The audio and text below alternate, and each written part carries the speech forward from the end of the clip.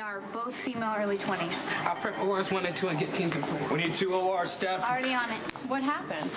Car and a bus collided. Car one. One patient has severe head trauma. I've got her. Another patient has severe spinal cord damage. We don't know how bad it is until we open her up. Dr. Hunter is still in Boston. Call Marucci. It's at least 30 minutes till he gets here. We don't have time. I'll do that. the Call- spine surgery. Call Mercy and make sure there's somebody there to come over. I said I can handle it. Let's just wait if somebody comes from Mercy first. Epiphany will find someone else for this one.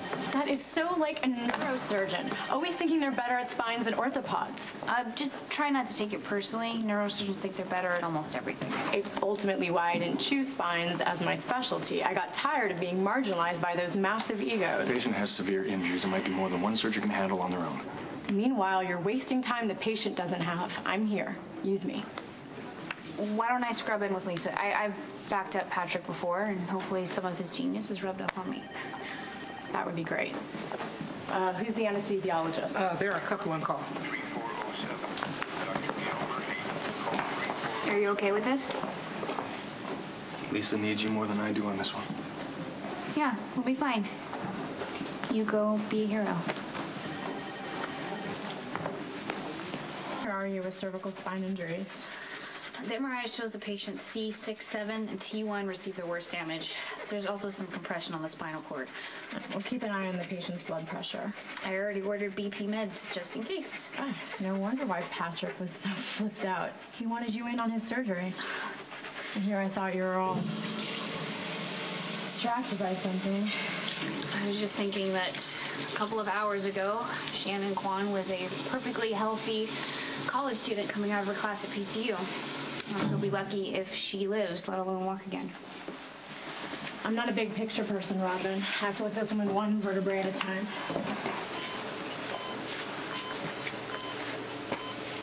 Blood pressure's dropping fast. I noticed some shadowing around the spleen, but the radiologist reported it was clear. It must have ruptured. Scalpel.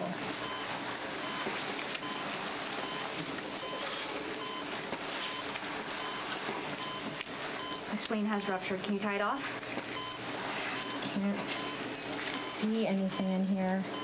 Retractor. VFib. Charge the paddles. Tiffany? I really don't know why we're here. Drinking to drown out your problems is for people who have problems, and that's really not me. You lost a patient. I'm a doctor. It happens. It's not like somebody. What? Died? I'm an experienced surgeon. Occasionally you lose one. It's part of the job description. I hate it, but sometimes you draw the short straw and you get a Shannon Kwan who's too far gone to save. Hello, girl. You celebrating tonight? Hi. Just another day at the office. Two shots of tequila. A virgin margarita for me. I love it when you talk dirty, girl. I'm on meds. I know. I ordered them both for me.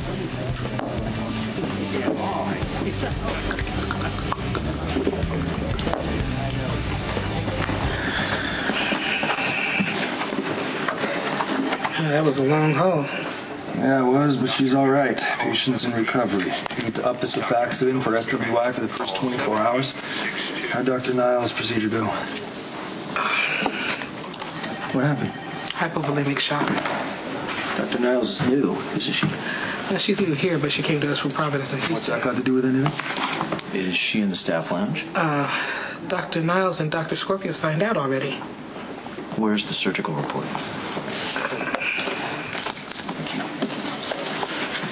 Dr. Niles did everything she could for the patient. Robin Consulting was sure of it. So you've already seen the report? No, the patient was probably too far gone. If there were never questions, we wouldn't have to fill out reports, but there are, and we do.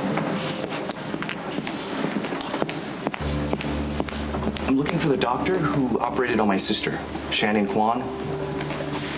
Uh, yes, that's Dr. Niles. She's not available right now. I'm Dr. Drake. I'm a surgeon here. I operated on the other crash victim. Well, I want you to explain to me how you screwed up and let my sister die. I'm, I'm sorry. I... Want to page the doctor. Dr. Niles is left for the evening. What is she running from? A, a malpractice suit?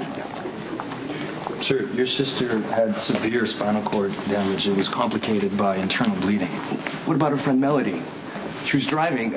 She lived in. She. I mean, the police said she went through the windshield. Difficulty of stopping an auxiliary bleed in the middle of a surgery is. I'm not interested in your excuses.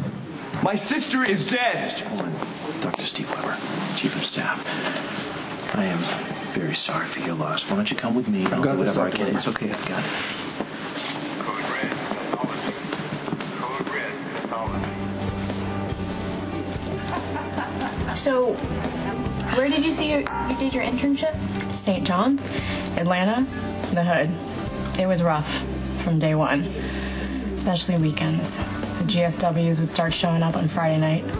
And not stop until Monday morning, right?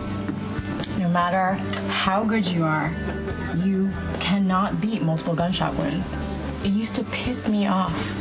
So many of those deaths were preventable. So I learned to step back, pick myself up, and move on to the ones that I can save. But it never gets easy. Could you give me the surgical reports for the past two weeks? Don't ever do that again. Easy, Doc. I was just trying to defuse this. And what you did was pull rank in front of the patient's family. I read the report and you were right. There was nothing more Dr. Niles could have done to save Shannon Kwan. So did you protect Dr. Niles and the patient's family? Because if you don't protect us, you're not going to last very long here. You seem to be doing fine at protecting yourself. But I come from the school that says when you treat a patient, you have a responsibility to their family. Dr. Webber, my job is to be the best surgeon that I can possibly be. Now let's compromise. You let me do my job, and I'll let you do yours.